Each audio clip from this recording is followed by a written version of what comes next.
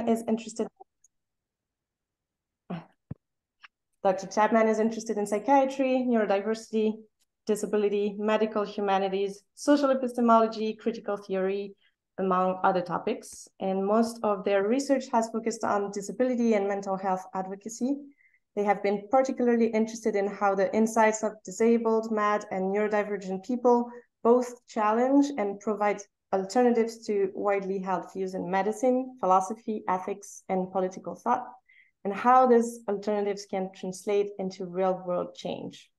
They're the author of several papers, notably in 2020, The Reality of Autism on the Metaphysics of Disorder and Diversity, published in Philosophical Psychology. And in 2021, Neurodiversity and the Social Ecology of Mental Functions, published in Perspectives on Psychological Science. At the moment, they're working on a book titled Empire of Normality, Neurodiversity and Capitalism. And today, their talk is on neurodivergent power. Robert Chapman, the floor is yours. Thank you. Thanks so much. Um, I'm just going to share the screen quickly. Um, okay, you can see that. Great. Um, so thank you, thank you so much for inviting me and for the warm welcome. Um, I'm uh, just to say I'm away at the moment and I'm sitting on a hotel uh, bed and I've made a kind of tower of pillows and put my laptop on it. So if it like falls over or something, don't worry, nothing terrible has happened. It's just my tower has collapsed. Um, so um, I've slightly changed the title of this talk after submitting the the title I've changed it from uh, on on neurodivergent power to on neurodivergent or mad power, um, and I'll explain that in a moment. Um, but really, what I want to do here is this is very much a work in progress. It's not something I've like published anything on yet or anything like that. It's just a kind of idea I want to put out there and test and see what people think and if it's helpful or if, if there's if maybe it's maybe it's a bad idea. Um, so obviously, any feedback is is really helpful. And I was really thinking a lot um, about the um, Black Power movement in America in the 1960s and 70s. And often um, uh, social movements borrow sort of ideas or are influenced by each other. Um, and I was wondering how something like that might translate into madness or neurodiversity. Um, and whether that would be useful and if it if it names something. And I'm I'm going to make a kind of a case for that to an extent, although um, I, am not completely sure about this, but we'll we'll see. I'll give some examples and see see if this is helpful at all. Um, quick two notes on terminology. Um, so I'm going to talk both about what I call mad or neurodivergent power, and I use both of these terms very broadly, um, more or less to anyone who falls outside the kind of uh, cognitive or affective or behavioral norms of a society, and who is also tends to be seen as disabled or ill or in need of fixing or recovery in some sense. So I use both the terms in the kind of broadest sense possible. Um, and today I'm going to like roughly map them onto the same broad groups of people, although I don't think they're completely interchangeable. Um, for instance, it's worth noting I take madness and neurodivergence as concepts to have slightly different emphasis. Um, madness is often like, for instance, associated as a kind of clash with reason or rationality or the dominant rationality of a society, whereas neurodivergence might be uh, slightly a, a, different emphasis. Um, but I'm just going to kind of switch between these depending on which is more relevant for the given example that I'm talking about at the time. And so I initially titled this presentation on neurodivergent power, but as I that was before I actually made the presentation, and as I've as I've been making it, I've ended up focusing a bit more on mad power. And that's just mainly because I've ended up focusing more on historical examples that were prior to the coining of neurodivergence, which is a very recent coining in the kind of early 2000s by um, Cassie and Asasumazu. Um, so sometimes the, the, term madness or mad was more appropriate and sometimes neurodivergence is more appropriate. Um, but I hope these are kind of continuous in, in to a fair extent at least. Um, okay, so when I first started thinking about mad power or neurodivergent power, and again, as I've already said, I was thinking I have been reading lots of the um, uh, leaders, the the Black Power movement from the 1960s and 70s. I kind of thought, well, it's very obvious that that you could borrow that and talk about like be influenced by that and talk about something like mad power. And as soon as I thought of it, I thought, well, that's so obvious. In fact, it must have been invented already. Someone must have done that. And and I still think um, that it's just too obvious that this it it very it, it, must have been done. But when I started um, searching for it, I couldn't really find anything like that, a clear articulation of mad power in that particular sense. I found loads of other uses of mad power, and there's a couple of just um, examples on the screen here. So for example, this image in the middle is there's, there's a company which um, is a full service generator and electrical distribution rental company, um, for instance, and they call themselves Mad Power, but that's like nothing in the sense that I mean it. But this itself was kind of interesting to me. So I, so like, I was thinking, if it is such an obvious kind of concept, obvious kind of borrowing from, from, a, from a kind of parallel movement, um, because of course there were mad movements in the 60s and 70s, there was kind of anti-psychiatry movement and so forth. Um, why, why haven't we got this concept already? Why haven't we already had it for decades? And there could be various reasons. Um, I think the question of why we don't have it is an interesting one in itself. And I'm going to try and like, my suspicion is that there's some kind of thing, someone kind of might call it epistemic injustice or hermeneutical injustice. There's been a kind of erasure of mad power and part of what I want to claim is that mad power or neurodivergent power is something that has existed for a long time. There are many historical examples, and um, we've actually, these have actually been erased from our histories of madness and histories of neurodivergence in an important sense. And so that's part of the kind of case I'm going to make today. And I want to begin precisely with a key example. And for this, we need to go back to the revolutionary period in England in the 17th century. So you don't need to know loads about this period, but there was kind of, uh, this is like Puritan England. Uh, there's a very powerful king and a small kind of parliament which has very limited powers and it's mostly like very wealthy people. And they're not really, uh, don't have the kind of interests of most people um, in, in mind, basically. Um, and you have this revolutionary period in the mid 17th century where there's all these groups, um, kind of the diggers, the levelers, and the ranters, who I'm going to talk about, um, who all want to make society much more equal in, in different ways. Um, some of them are kind of proto, almost like communists or anarchists in various ways. And you have this revolutionary period where eventually the king is executed, and then there's like um, this kind of brief dictatorship with uh, Cromwell. And then the monarchy is restored, um, but Parliament is given much greater powers. So there is a kind of a, a kind of revolution, which kind of doesn't completely uh, go, go the way some, some would hope. Um, but then you still have some counter-revolutionary forces, but then you still have kind of greater democracy at the end of it. Um, so I think there's certainly some good comes out of it. And the group I want to focus on uh, from the time as an example are the ones called the Ranters. Um, so the Ranters are a group thought to number in the thousands, although it isn't completely clear, and were very popular among the urban poor in, you know, in, in, in cities across England. And they were one of the groups, along with other groups such as the Diggers and the Levelers, who were, were part of this kind of radical, um, radical groups during this revolutionary period. Um, I see the Ranters as a kind of proto kind of libertarian communist uh, movement. Um, in particular, they called for the abolition of private property, although they were very much libertarians as well, or something you might call proto-libertarians. Um, something they're really associated with now is, is, a, is a kind of proto-sexual liberation movement.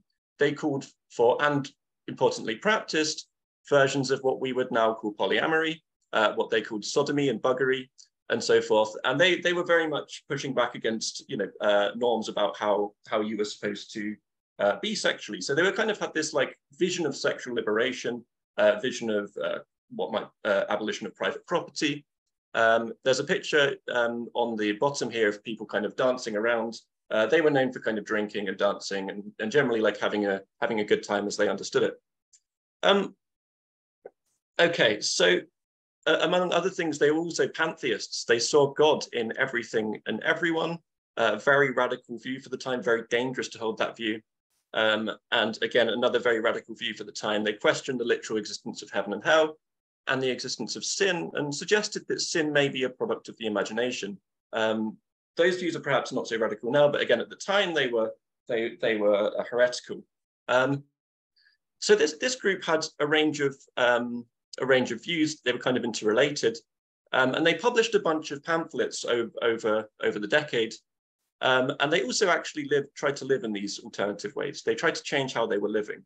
Um, and they also went around kind of preaching a lot and things like this.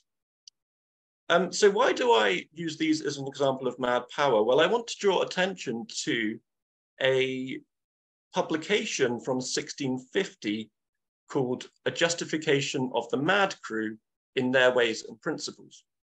And this is an incredible publication. It's anonymous. There's no, there's no author. There's suspected authors who are, who are kind of like leading ranters. And this is very widely seen by historians as a kind of ranter manifesto, even though we don't know exactly who the author is. And in this, they talk about the kind of things I've just mentioned, the kind of they call for the need of the abolition of private property, and, and they talk about their theological views and so on. Um, but interestingly, they, they very much identify themselves as mad and as the mad crew. And they do something that we would now call something like reclaiming. They talk about how people have called them mad, and they called then they're like, well, we are the mad crew, and we're going to justify themselves. And something that's important here to note is that they didn't call themselves the ranters. That was a name given to them by their critics. Um, and there were lots of critics at the time. People were terrified of them. Not uh, maybe like ordinary people, but certainly the authorities were terrified of them.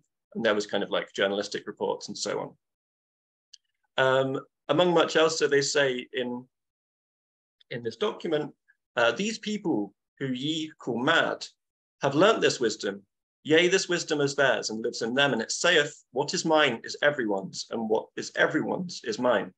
This is the kind of move to the abolition of property, that everyone should own everything communally. Um, this related to their theological views, they're pantheists, they think God is in everyone, and therefore they think everyone should own everything equally and uh, uh, and so on. So that so their view is kind of um, has some kind of coherence to it. It's it's uh, it's really interesting to to look into. Um, so they call themselves the Mad Crew. Um, they don't call themselves the Ranters. Uh, their name was kind of suppressed, and they get called the Ranters by history. Uh, but they call themselves the Mad Crew in at least this publication, and they reclaim this term, and they've been called mad by other people. They weren't just called mad, Many of them were kind of, um, some of them were even incarcerated in Bethlehem Hospital, the kind of infamous uh, London uh, kind of uh, proto asylum. Um, so one of the leading members, William Everard, who was previously a digger but then became a ranter, was incarcerated in Bethlehem Hospital precisely for his ranting activities, for example. And just to quote one 1651 report, which was fairly typical of the time, many of ranting Everard's party are lunatic and exceedingly distracted. They talk very high against the parliament and this present government, for which some of them have received the lash. Um, they actually received much worse than the lash. They were kind of really violently suppressed in all sorts of ways. Some of them had stakes driven through their tongue. Some of them were locked up in all sorts of ways. And some of them, some, you know, um, and all sorts of other, other horrible things like that. Um, so their views were seen as a kind of real threat to the dominant order in some sense. What they were doing was completely heretical. Um, they wanted to challenge the kind of certain things about uh, norms of sexuality and stuff like that, and uh, religious beliefs um, and and uh, social hierarchies and, and, economic hierarchies. So I propose that this, and I want to begin with this, is a paradigm example of what I want to call mad or neurodivergent power. These are people who self-identified as mad in at least one publication and challenged the dominant rationality of the time, um, both in how in their in their theory, but also in their practice and how they acted and how they tried to live. They were completely outside the dominant rationality. People called them mad, people called them lunatic, and literally locked them up for this. Um, and they were kind of a, a, kind of early version of reclaiming madness, um, the kind that you see again uh, now in recent decades. Um, so I want to begin uh, just with them and keep them in mind. They're in some sense such a threat to the dominant order. Not only did they need to be suppressed, but their very name needed to be suppressed. Not even just in that time as well. Um, I mean, more recently, um, some conservative historians as uh, have tried to actually draw uh, to kind of claim that they were a myth and they didn't really exist. Um, and in response to this, um, other historians have kind of shown lots more archival evidence and shown they you know, definitely did exist. Um, so there's been various attempts to kind of suppress them and suppress understanding and knowledge of them in various ways. Um, okay. So something important here is that I didn't learn about these in studying the history of madness at all. Um, and I've, you know, I've, I've been reading stuff about the history of madness for years and years and years now. Um, it's something I'm, you know, I'm, i have a, a, kind of a research interest in. Um, and I'd never come across them in, in reading these. Uh, I came across them, I just happened to be reading a recent England, uh, a recent history of revolutionary England, which spoke about the ranters. I thought they sounded really interesting. When I looked into them a lot more, I then came across the justification of the Mad Crew. Um, and again, this itself is interesting to me. They aren't in histories of madness, as far as I know. Um, even the histories of madness, which are more kind of critical, uh, the ones from uh, maybe like Foucault or the anti-psychiatry movement and stuff like that, they don't include like the ranters either. Um, I think one way of making sense of this, why aren't they there? If they identified as mad, they said they are mad and they published this pamphlet and they were kind of activists, right? Is thinking about how madness has been understood as a kind of lack or a deficit or a form of vulnerability, always something like that, not as a form of power. Um, and if you look at, if you, if you understand madness like that, if you understand it like that, then there's really no space left just if it's if it's reduced that there's no space left for understanding or conceptualizing neurodivergent power or for seeing it. So it's not like i think there's some kind of conspiracy or something like that to like you know hide knowledge of the mad crew or or similar. It's just i think that the way we've thought about this uh, in some sense hinders our understanding or ability to recognize um, these kind of cases as cases of mad power but the, the Mad Crew, um, they were powerful. As I've said, they are widely seen uh, as a threat to the dominant order. Um, so my claim is going to be that there's been a kind of hermeneutical lacuna, a kind of gap in our understanding that might stop us from recognizing mad power in some sense. Um, so I guess we could use all sorts of words for this. There's like technical words like epistemic injustice or hermeneutical injustice. And I don't want to go into like, I don't want to propose something like a really precise conceptualization of exactly how, how we should make sense of that. Um, just the, the way we've conceptualized madness and it's always being conceptualized um, doesn't leave much space for this. So there is some kind of stifling of that understanding. And so really my hope with this concept, or part of my hope is that we can kind of recognize a different side of madness. And just to be clear, this isn't to deny any of the like hardships of madness or anything like that, um, or that, you know, uh, or to deny disability. I think these things can coexist. Um, they can, you know, you can struggle at the individual level, but have a kind of collective power as a movement or as, a, as an organization or as a group or, or so on. Um, okay. So that's the MAD crew. Um, I now want to move on to further conceptualize it and to, in relation to, I think, what's the most obvious kind of contemporary uh, comparison, which is uh, pride, mad pride, neurodivergent pride, autistic pride, and so forth. So from around the 1990s, um, we begin to see conceptions of mad pride, neurodivergent pride, and so on, um, influenced by earlier conceptions of gay and lesbian pride primarily, as well as other kinds of pride too. And homosexuality, to use the kind of historical term, was pathologized um, as, a, as a mental disorder, as I'm sure people know, um, until, until just some decades ago.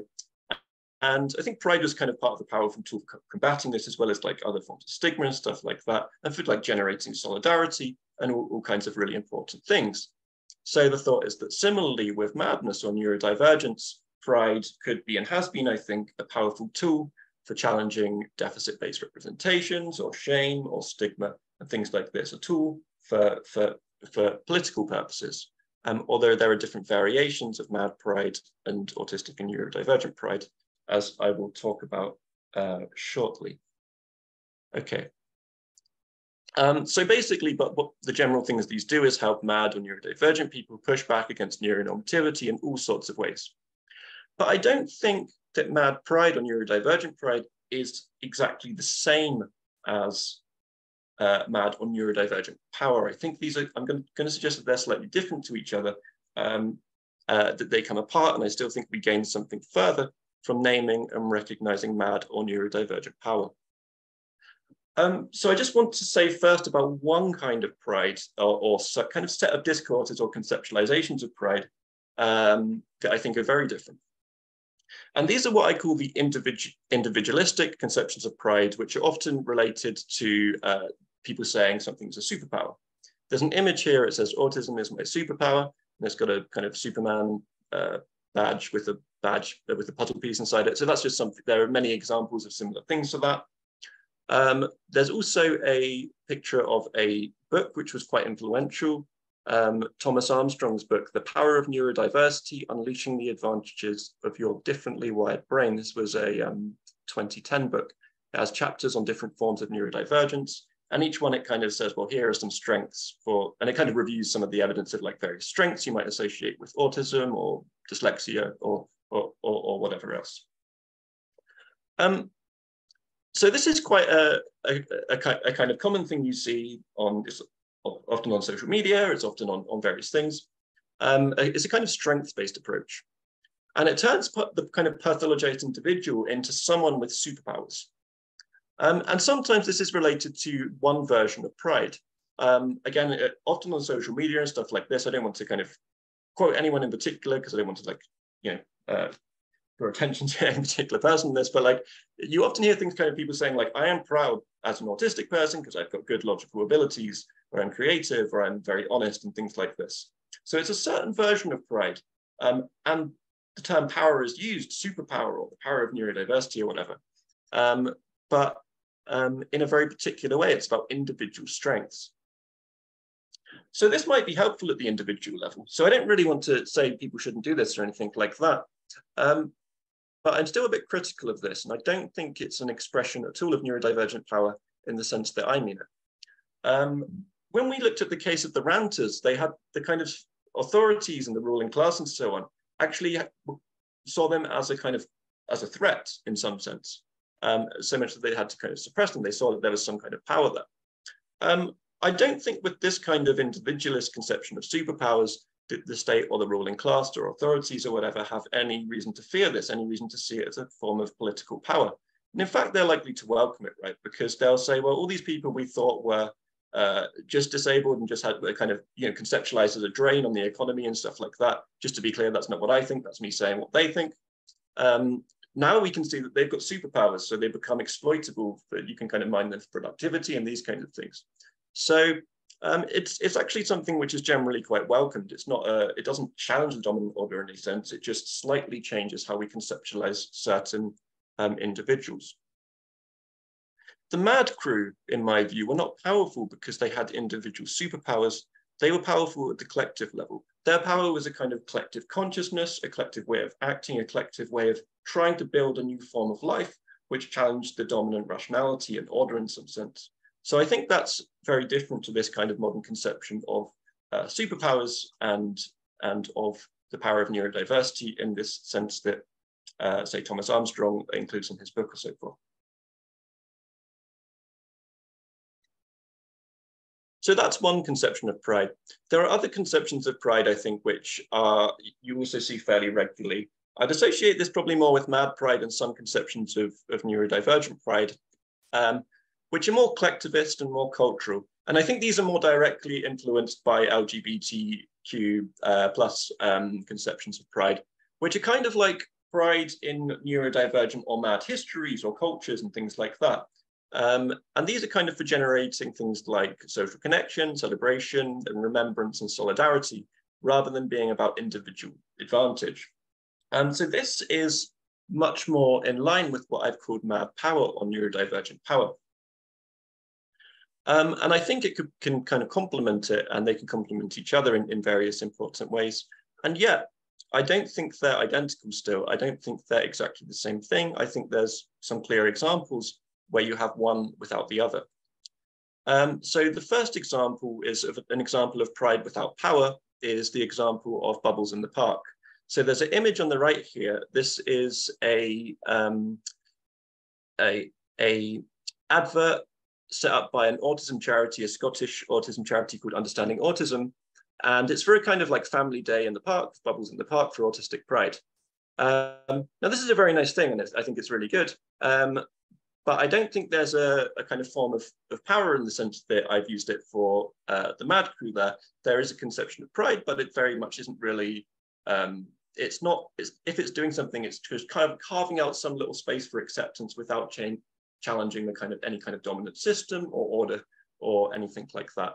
So I think that's still quite different. There, there's cases of pride without this conception of neurodivergent power.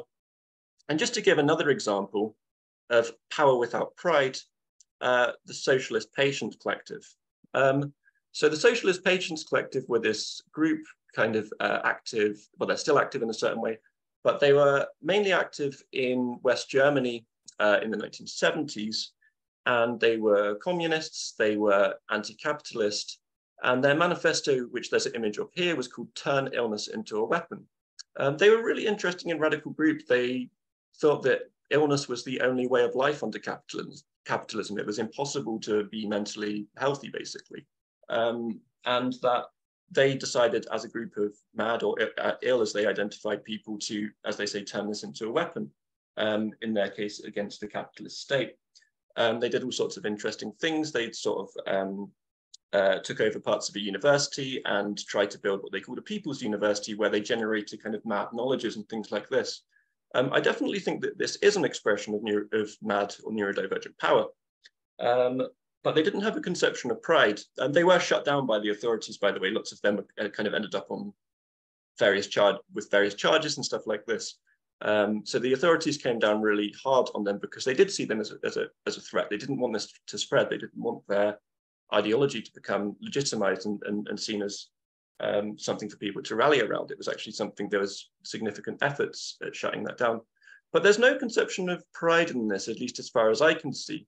Um, but there is power. So they're not talking about like cultural pride or something like that. They just bypass that completely. Um, so I think you can have conceptions of collective pride which do work well with what I've called mad power or, or neurodivergent power. But um, they do come apart because you can have both pride without power and power without pride. Okay, so just want to say a bit about the concept of black power. Um, so this is, I guess, some of the things that were getting me thinking about this. Um, so uh, it did, the, the concept does arise a bit earlier and it, people date it to different, different places, but I think the first real key book on black power um, is the book Black Power, uh, The Politics of Liberation in America, published in 1967 by Stokely Carmichael and Charles Hamilton. Um, and it's this kind of seminal text in, in, in Black Power. Um, interestingly, they related to pride there, to Black pride, but they don't equate them with each other too. Um, here's just one quote from page 56. The racial and cultural personality of the Black community must be preserved, and that community must win its freedom while preserving its cultural integrity. Integrity includes a pride in the self, in the sense of self-acceptance, not chauvinism, in being Black, in historical attainments and contributions of Black people. So they do have this, there is this kind of like cultural and historical sense of pride, but it's still not exactly the same uh, as Black power. Black power really emphasized uh, Black self-determination, economic empowerment, and the development of various cultural institutions. So very importantly, something that groups like the Black Panthers uh, really pushed for was the um, development of, of Black studies departments in universities. That was one of their, uh, a thing they really fought for and a big part of the reason why there are Black studies departments today. Uh, also um, book, bookshops, uh, cooperatives, and, and so on. Um,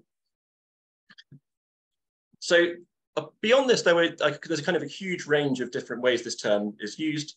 Um, lots of them were kind of Marxist-Leninists as well, of course, in the Black Panthers. Um, Stokely Carmichael himself was like more of a Pan-Africanist and had kind of some sympathy for socialism. Um, so they didn't have a completely like coherent ideology shared between everyone who used this concept, but it was generally used in these, these various ways, and usually with a kind of liberatory aim to challenge the dominant kind of order uh, in some sense. Um, so I think this is interesting. So aside from the kind of example I've, examples I've given already, for MAD or neurodivergent power, we might add cases uh, of things like neurodivergent cooperatives or advocacy groups, uh, or perhaps MAD studies or neurodiversity studies departments. um, if they're you know led by mad people or neurodivergent people. Um, or these are the kind of things that you might be with the concept of mad or neurodivergent power be able to kind of fight for or to conceptualize or to argue for or to try to make. Um, of course, we can try to make them anyway, but this is one way of one way of thinking about it. Um, okay, so I just want to say a little bit about the importance of intention by another example of someone who influenced my thinking slightly here, um, P. Newton. Um, so Huey P. Newton was a, uh, again, an influential, uh, he was a Black Panther leader uh, and a, a, great philosopher, um, among other things. Um, in his first book, his autobiography, Revolutionary Suicide, he proposes his concept of revolutionary suicide.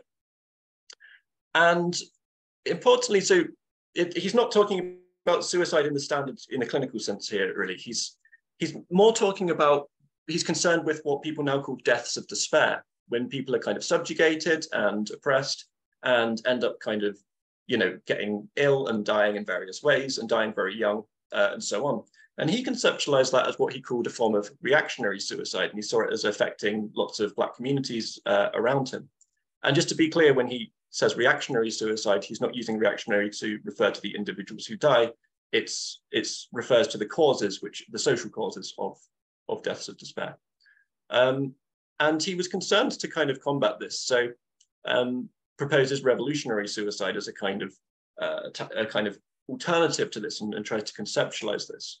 Um, in some sense, it's an individual action or can be, but it's taken as part of a collective cause struggle. Um, so this is traditionally a concept associated more with Black power. Um, one question I think you could ask is whether it could also be seen as a form of mad power. It's in relation to things like, you know, despair and, and maybe what we would now call depression and things like this. And instead of, uh, you know, responding to that in one sense, trying to develop space to, to develop in, in, another sense, but in relation to, um, to, to, to, more of a, a, kind of black power perspective. Um, a question would be how could we distinguish between the two here? Because it seems like it could, it definitely is in kind of service of a, of a, of a black power kind of movement, but could it also be conceptualized as a form of mad power? Um, I think probably one thing that might be important here is about the intention or the explicit aim of the effort. So in this case, the explicit aim was in support of black liberation, not mad liberation. Um, so perhaps it could be conceptualized as a form of mad power, but only if it was more explicitly intended in that way. I think that might be important there. That could be contested, but I think I think that might be important. So I'm just going to add that as a kind of uh, uh, something which I think is part of what we might call mad power or neurodivergent power. Um, okay, so I'm coming towards the end now. Um, this is quite a short talk because I uh, basically ran, ran, out, ran out of things to to say about this, which were coherent basically. And I really I want to hear like I'm interested in kind of hearing what other people think. And this is a very preliminary definition, just based on some of the things I've said. So it's not supposed to be like a watertight philosophical definition, which is like necessary and sufficient conditions. This is just like a very general first attempt at a, a preliminary definition. So it'd be instances of self-identified, mad or neurodivergent, etc. parties, organizations or groups, militantly organizing in some sense to challenge the dominant order, the rationality or ideology of a given society. In the most extreme cases, this would be to fundamentally change the nature of that society in line with the concerns or perspectives of mad or neurodivergent people. Um, but it could also be, as I've said, more locally, for instance, through the creation of things like neurodivergent cultural institutions or cooperatives or so forth. So there could be more localized um, instances of, of, of, this kind of manifestations of power. And I think this would typically, but perhaps not necessarily, and that's, that's worth thinking about, I think, uh, be with a kind of liberatory focus. At the very least, insofar as dominant norms are almost by definition, in my view, oppressive or at least exclusionary of neurodivergent people. Um, so that's my preliminary attempt at a definition. Um, okay. So why do I think this concept is important? What's the significance of it? Um, I guess I thought it's worth just putting out there and, and, and, and testing um, for, for a bunch of reasons. But so firstly, um, as I've tried to show, I think MAD or neurodivergent power names something that has long existed um, and does actually exist. So I'm, I'm trying to, I'm a realist about this in some sense. I don't know what sense, I haven't thought about it that much, but like, in some sense, I think it's, I think the MAD crew were, did express something that we could call MAD power. Um, but we haven't had a kind of word for this, um, as far as I know. Um, so our understanding of it has been overlooked or stifled or erased in some sense. Um, so I think it might be helpful for that reason. And my hope really is that this concept, in, on the one hand, might be helpful for reinterpreting the past, uh, for recognizing MAD or neurodivergent power, for recognizing that it's been with us for a long time in some sense, in various ways and manifestations, no less than have things like the asylums or diagnoses or various, um, all, sorts of other things we're more familiar with. Um, so I wonder what a history of madness would look like if it focused on mad power, or at least alongside uh, al alongside other things we're more familiar with. I think it would be very different to the kind of histories we're familiar with. Um, it would include, as I've said, groups like, like the MAD Crew and the SPK, the Socialist Patients Collective, and so forth. And you might end up with a very different understanding of the history of madness than we have at the moment. Um, at the same time, I think it might, I hope at least it might be useful for thinking today about the possibility about MAD uh, and neurodivergent possibilities for organization, organization for kind of liberatory efforts. Um, at the very least for things like the development of MAD or neurodivergent cultural institutions. Um, and these could be whether it's MAD or neurodivergent cooperatives, MAD studies departments, um, uh, bookshops or whatever, those the, the kind of things that um, Sophie Carmichael was talking about. Um, so these are things I think are worth fighting for, and I think having a kind of name and a concept might be helpful there for at least for at least some time.